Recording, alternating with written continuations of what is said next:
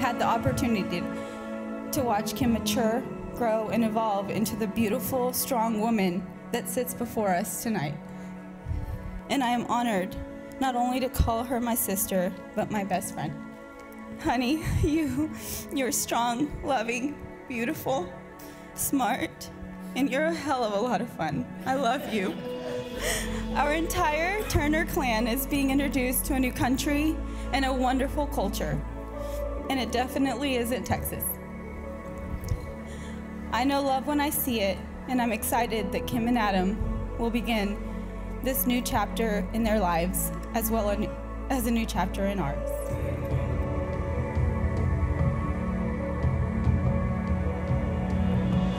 I've known for a long time that I want this amazing day to be shared with you.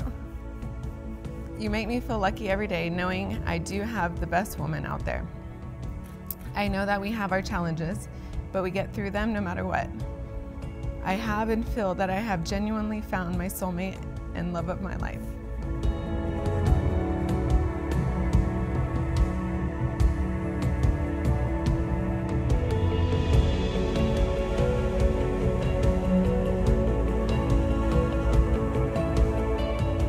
Just because I'm getting married does not mean I'll stop being your baby girl. You will always be the first man I ever loved. You've taught me to be strong even when I feel weak. You taught me to be wise and kind to others.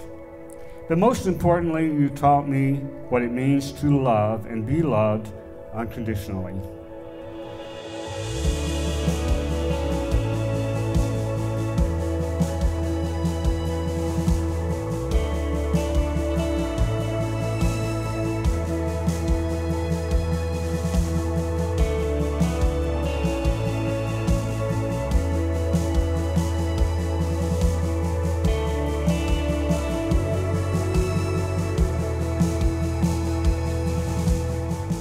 Adam, will you take Kimberly to be your wife? Will you love her, comfort her, honour and protect her, and forsaking all others, be faithful to her as long as you both shall live?